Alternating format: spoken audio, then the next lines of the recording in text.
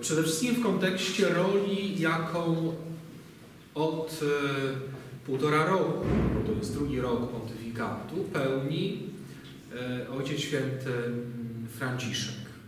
W zasadzie synod jest tego najlepszym przykładem, jak on próbuje odnieść się do wielu zagadnień współczesnego Kościoła i świata, między innymi również do tego strategicznego e, zagadnienia, jakim jest e, współczesna rodzina.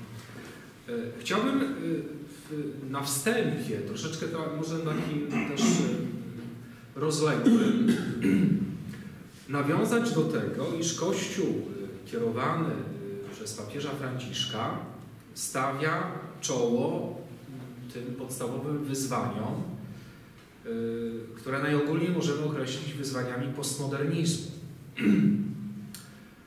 I oczywiście ze strony papieża Franciszka widzimy tę inspirację misyjną. On jest misjonarzem z krwi i kości i chce jakby pociągnąć za sobą cały Kościół, ażeby stanąć wobec wyzwań postmodernistycznych właśnie z taką werwą i z takim charakterem misyjnym, pokazując, że nie da się tutaj rozwiązywać problemów na etapie jakiejś dyskusji czy, czy wchodzenia też w dialog, ale trzeba po prostu odpowiedzieć największą siłą, jakie daje chrześcijaństwo, a więc głosić Ewangelię.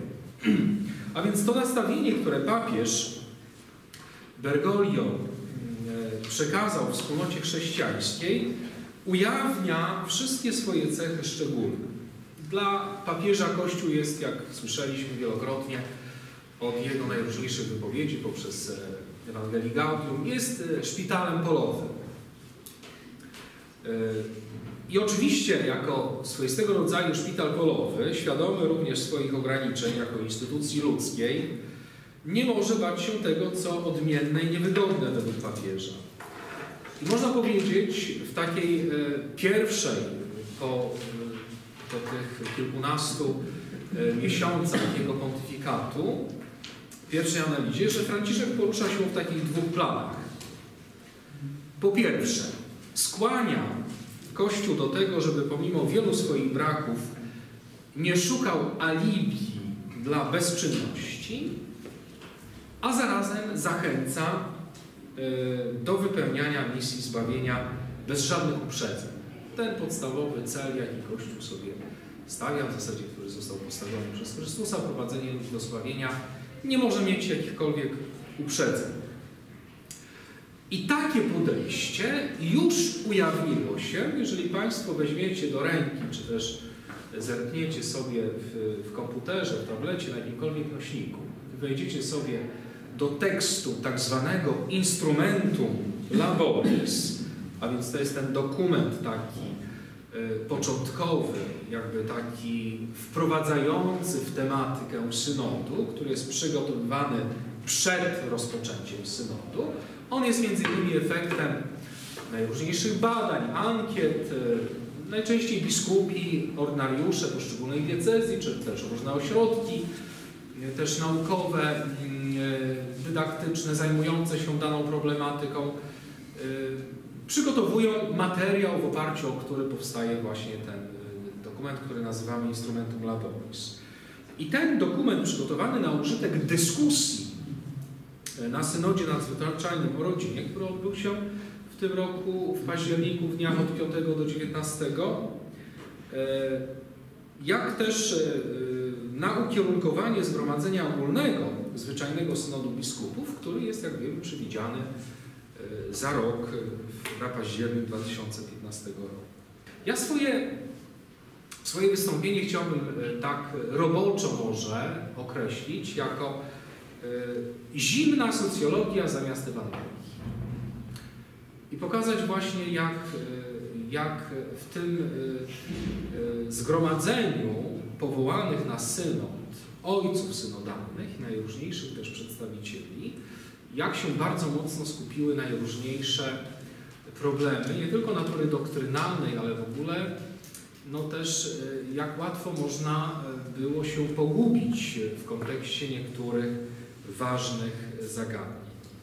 E, z pewnością e, tegoroczny synod ukazał e, dwie rzeczy. Po pierwsze, wyjdę od takich tez, które będę później rozwijał.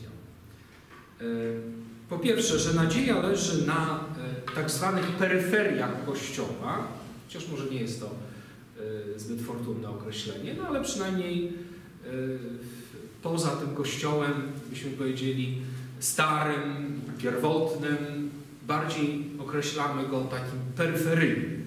Tam należy, tam leży nadzieja Kościoła. Najwięcej właśnie nadziei jest w tych peryferiach, po których chyba najmniej się tego spodziewano. Okazuje się, że też nie jest tym terenem, e, tym obszarem Ameryka Południowa, którą papież Franciszek z racji na swoje pochodzenie tak często wspomina, co oczywiste, gdzie Kościół mocno y, przejął się od dawna zresztą zwalczaniem ubóstwa, y, straciwszy jednak trochę z pola widzenia kształtowanie y, to doktrynalne też sumień ludzkich, co jest przecież jego podstawowym zadaniem. Wydaje się, że mniejsza nadzieja płynie też ze strony Azji, to też jest ukochany kontynent papieża Franciszka, z tego co widzimy, bogatego tradycją, szczególnie jeżeli chodzi o rejon Azji Mniejszej, gdzie ludzie bardzo często muszą walczyć o wolność wyznania, chrześcijanie w ogóle o przeżycie. Na synodzie możemy powiedzieć, że wybrzmiało bardzo mocno, iż nadzieja dla Kościoła leży w Europie Środkowo-Wschodniej i w Afryce. Zaraz to Państwu pokażę, przywołując pewne zjawiska, które miały miejsce podczas y, tegorocznego synodu. Właśnie na wschodzie Europy, gdzie do dziś żywa jest y, tradycja religijna, no i też może też z tego powodu, że, y, że tamtejsze kultury stoczyły twardą walkę też z komunistycznym totalitaryzmem. I jak wspomniałem, nadzieja dla Kościoła płynie z Afryki. E, Afrykańczycy są bardzo mocno związani, ci oczywiście zewangelizowani, bardzo mocno są związani z Kościołem, ze świętym Kościołem rzymskim i, i czynnie starają się również realizować jego naukę. U nas y, praktycznie problematyka małżeństwa i rodziny na kontynencie afrykańskim jest zamknięta do jakiego problemu? AIDS zapominając w ogóle też o przepięknych przykładach i niemalże wzorach, które udało się też wprowadzić w całym kontekście tego, co nazywamy też inkulturacją, ale połączyć niejako rodzimą tradycję też z tym, co niesie ze sobą chrześcijaństwo. Y, proszę sobie wyobrazić, iż biskupi z Europy Środkowo-Wschodniej, z Afryki, byli najbardziej aktywni podczas swoistego rodzaju rewolucji, która się dokonała na tegorocznym synodzie.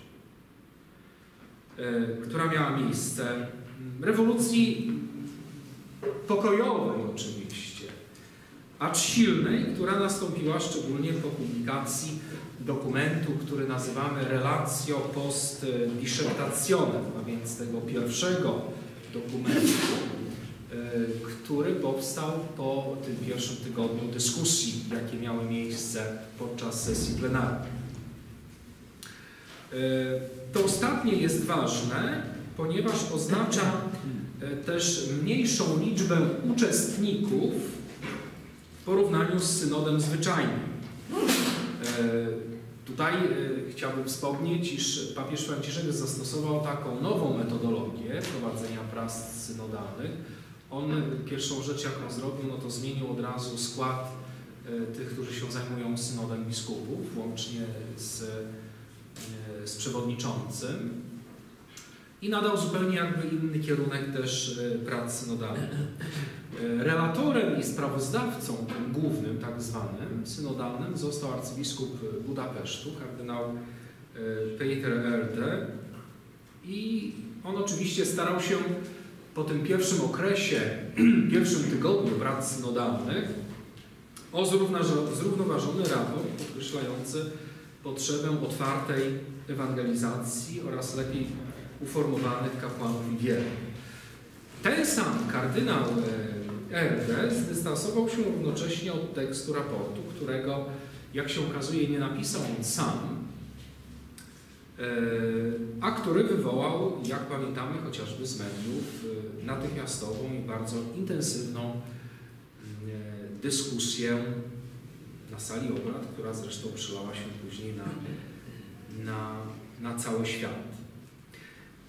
Pomijając już polemikę na, na temat tak zwanego otwarcia się na związki jednopłciowe, czy też rozwodników żyjących w ponownych związkach, to co się rzuca e, od razu, kiedy weźmiemy do ręki ten raport, to e, brak, można powiedzieć, jednego odniesienia do Ewangelii.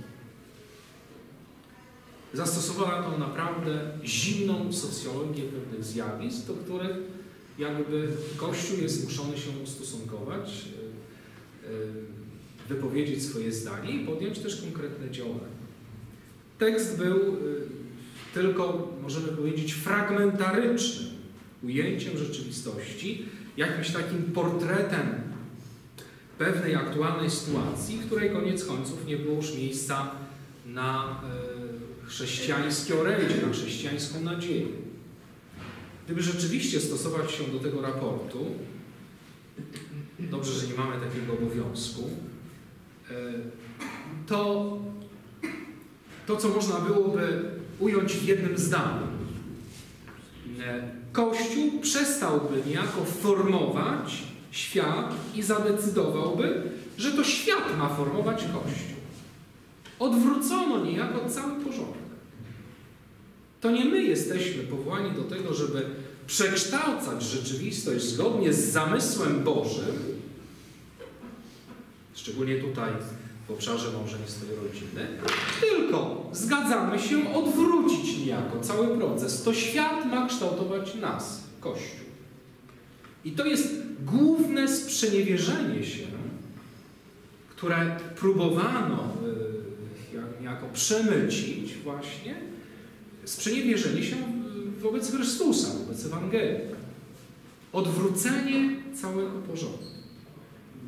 I tę perspektywę przedstawił e, między innymi e, kardynał Reinhard Marx, arcybiskup Monachium, podczas spotkania właśnie z dziennikarzami.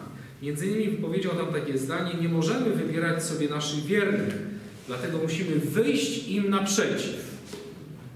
Nie możemy wybierać sobie wiernych, dlatego musimy e, wyjść im naprzeciw. A więc zimna socjologia e, w miejsce Ewangelii. Ewidentnie ukazana właśnie w kontekście tego, co się wydarzyło. Dokument właśnie obnażał swoistego rodzaju ograniczenia teologii wyzwolenia. Tam zastosowano typową metodę, jaką się posługiwała i posługuje, jeszcze okazuje się w dalszym ciągu, przynajmniej zwolennicy tego, co określamy teologią wyzwolenia, oczywiście w tym negatywnym znaczeniu. Nie chciałbym, żebyśmy też e, jakby tutaj, żebyśmy kogoś skrzywdzili, e, posługując się terminem też teologii wyzwolenia, która co prawda dokonuje oczywiście takiej socjologicznej analizy obecnej sytuacji, ale nie potrafi wyjść poza nią. To jest właśnie dramat To jest zastosowanie analizy w najgorszym wypadku chociażby tej marksistowskiej, no ale dzisiaj można również dokonać analizy genderowskiej czy jakiejkolwiek innej. Ale bez możliwości wyjścia poza. Bez zrobienia z tego właściwego też użytku. I w ten sposób chociażby marksizm jako element teologii wyzwolenia stał się podstawą do rozważań teoretycznych na temat walki klas i rewolucji. Jednak w żaden sposób nie dociera się poprzez taką teologię i przez walkę klas do ludzkich serc. Ich się nie zmienia. Chrześcijaństwo jest czymś zupełnie innym. Wykracza daleko poza tego typu metodę, poza tego typu socjologii. Tylko Ewangelia, jej misja miłości i też nauka, doktryna bazująca na prawdzie może rzeczywiście kształtować świat, przemieniać świat i czynić go yy, takim, jaki zgodnie z zamysłem.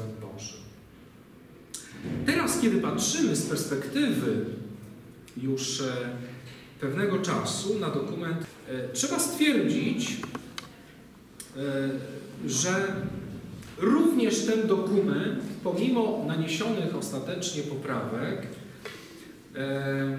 przekazuje obraz Kościoła z pewną taką ograniczoną wizją. Raport podsumowujący połowę obrad synodu, jak wspomniał już Pan Przewodniczący, zamiast podkreślić piękno e, chrześcijańskiego życia, również tego małżeńskiego i rodzinnego, i uwypuklić wspaniałe, tak przykłady katolickich rodzin, skupił się na sytuacjach rzadkich, czy też nietypowych, no i mówił o potrzebie nowego, miłosiernego podejścia. To pokazuje, jak trudno jest e, rozmawiać, ale też trzymać się zdrowej nauki. E, w pewnym sensie w tej historii synodalnej, tej nowoczesnej, bo wiemy, że po Soborze Watykańskim II Kościół wrócił do praktyki e, zwoływania mm, synodów w Kościele. Najczęściej e, to poszło w dwóch kierunkach. Albo po linii tematu jakiegoś ważnego, którym należałoby się zająć, ewentualnie po linii też kościołów lokalnych, a więc w tym podziale też kontynentalnym. Były synody dla poszczególnych kontynentów. Pamiętamy w okresie pontyfikatu Jana Pawła II, szczególnie e, jako przygotowanie do wielkiego jubileuszu. No i mieliśmy troszeczkę taką podobną sytuację w tym roku, jaka miała miejsce w 1971.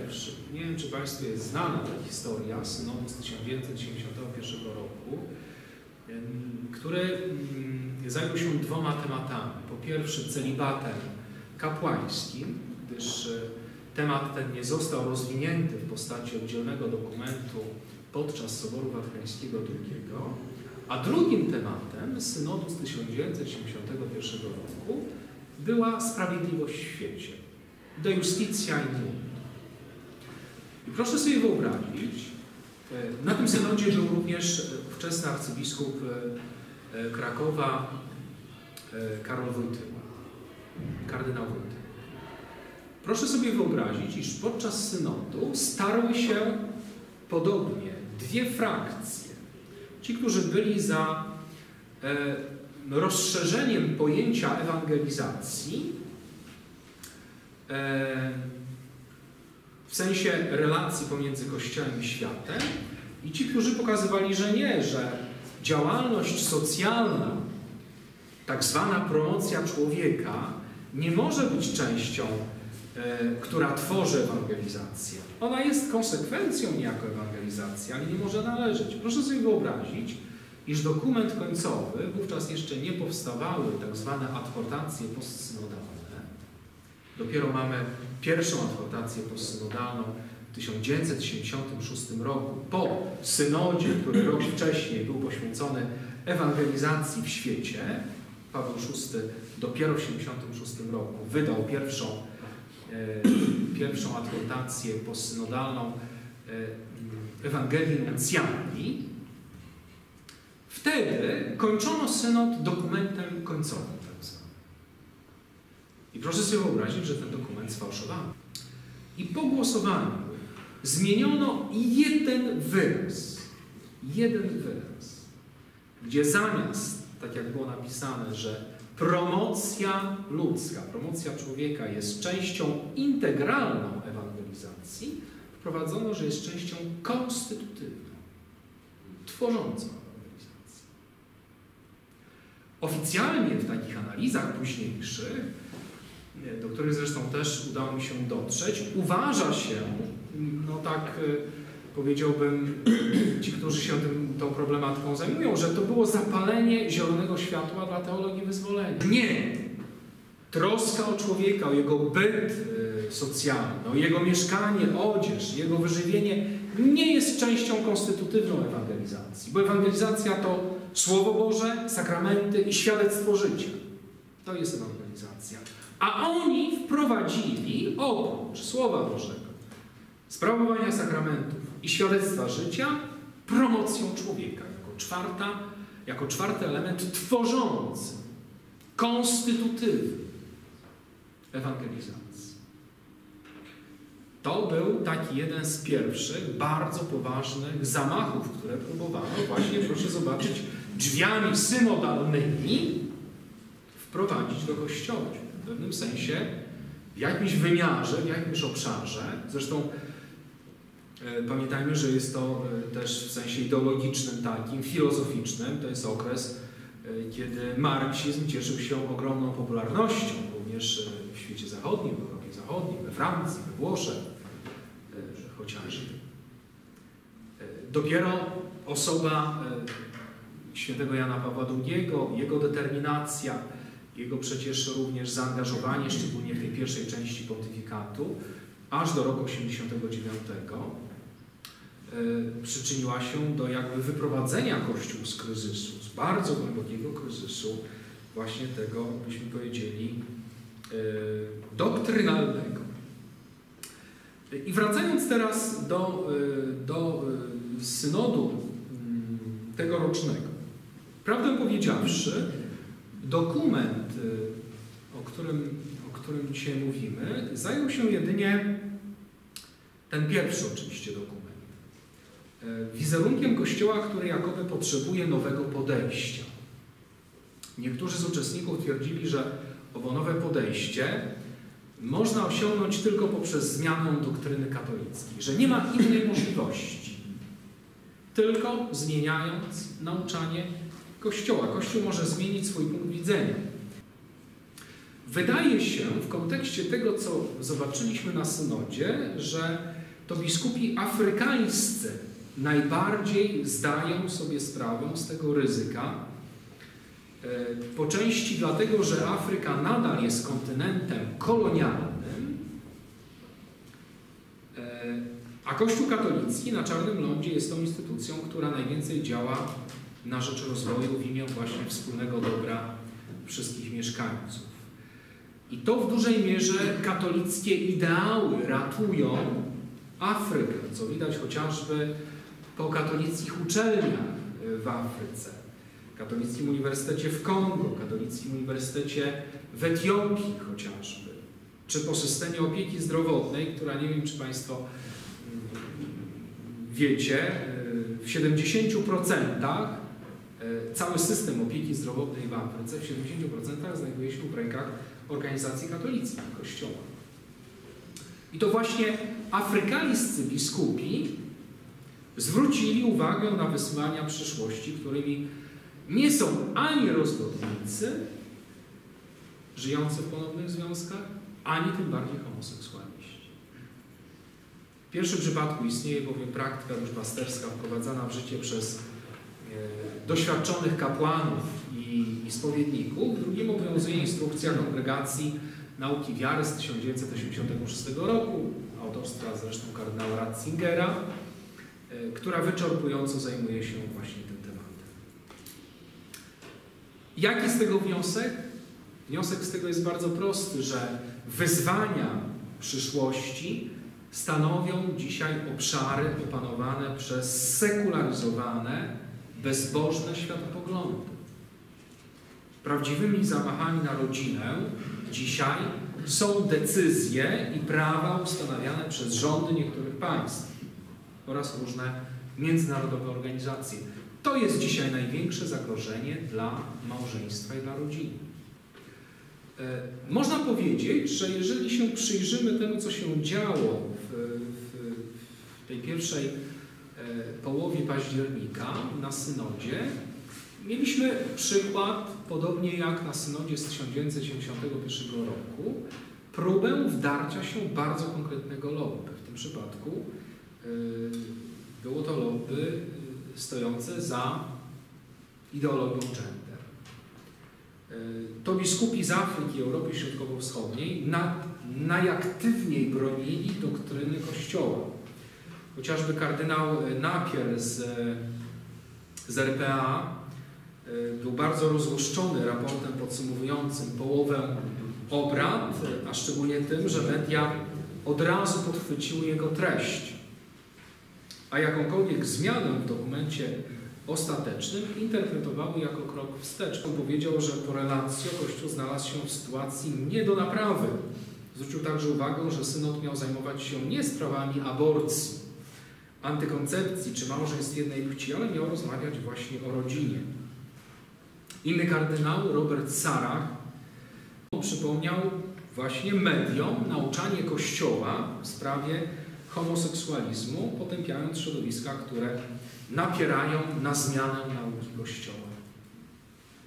Zresztą e, wielu ojców synodalnych miało bardzo poważne obawy, że jakieś lobby znalazło sobie sposób, aby wpływać na synod zarówno od wewnątrz, jak i z zewnątrz i by w ten sposób podminować naukę Kościoła.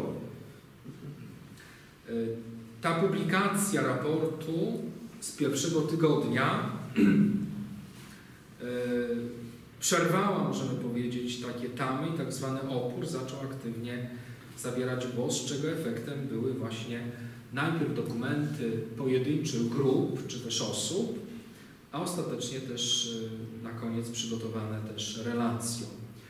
W pewnym momencie, nie wiem czy Państwo pamiętacie, e, synod w drugim tygodniu obrad podzielił się na 10 grup, aby w mniejszych zespołach dokonać analizy właśnie tego relacjo post dissertationem i skorygować i zgłosić też swoje obserwacje. E, tutaj też mieliśmy do czynienia z pewną nowością. E, zazwyczaj dotychczas było tak, że wszystkie punkty zyskujące większość dwóch trzecich głosów były dopuszczane, a papież streszczał je później w tym, w tym końcowym dokumencie w postsynodalnej adhortacji. Obecny synod posłużył się zupełnie nową metodą. Sekretarz synodu oraz główny jego relator stworzyli końcowy raport, który ma stać się wskazówką dla tego, co będzie się działo w następnym roku, dla synodu zwyczajnego. I nawet te punkty, które nie zyskały większości dwóch trzecich głosów, zostały po raz pierwszy, proszę sobie wyobrazić, upublicznione. Jeżeli Państwo weźmiecie relację, to zobaczycie na koniec, do każdego punktu jest wynik głosowania. I mamy, i to jest na życzenie, na specjalne życzenie papieża Franciszka, i mamy po raz pierwszy w tym relacją e, wiedzę na temat głosowania każdego z punktów i zobaczycie Państwo, ile z nich nie otrzymało dwóch trzecich głosów. Co dla kogoś, kto się zajmuje tą problematyką, jest dosyć znamienne. A więc ta publikacja raportu końcowego pokazała, że większość ojców synodalnych znajduje się po innej stronie niż sugerowałby to dokument właśnie też z połowy obrad, chociaż te niektóre punkty są bardzo, bardzo zaskakujące. E, wiemy, że synod zakończył się e, beatyfikacją Pawła VI. To była e, uroczystość zamykająca jednocześnie też mm, to spotkanie. No i możemy powiedzieć, że ta uległa wobec dewiacyjnych zmian kulturowych postawa mocno właśnie kontrastuje z osobą Pawła VI, którego e, beatyfikację przeżywaliśmy. Dla mnie osobiście jest to papież bardzo bliski. Miałem możliwość przez kilka lat zajmowania się jego, jego nauczaniem, jego, jego też postawą, jego świadectwem. E, no i można powiedzieć, że Paweł VI był takim nowoczesnym papieżem, też z wizją misjonarza, który potrafił trzymać Kościół na kursie w bardzo trudnych, pełnych kontrowersji czasach. E, był papieżem, który zachował głęboką wiarę, zresztą wyniesienie jego na ołtarze jest tego najlepszym przykładem. Potrafił podtrzymać ją także w Kościele, dając między innymi też wspaniałą wskazówkę i wnosząc ogromny wkład w utrzymanie e, i w obronę doktryny Kościoła, nauczania Kościoła w obszarze małżeństwa i rodziny. Wiemy, że papież e, błogosławiony Paweł VI jest autorem e, słynnego dokumentu z 1968 roku, słynnej encykliki Humane Vitae. I to był, proszę sobie wyobrazić, ostatni dokument, ostatnia encyklika, jaką wydał. Był jeszcze papieżem przez 10 lat, aż do 1998 roku, ale nie napisał już żadnej encykliki o Humane Vitae. Nie chciał, aby działania płynące właśnie z jego urzędu zostały fałszywie wykorzystane. Takim niesamowitym świadkiem tamtych czasów jest kardynał Paul Poupart,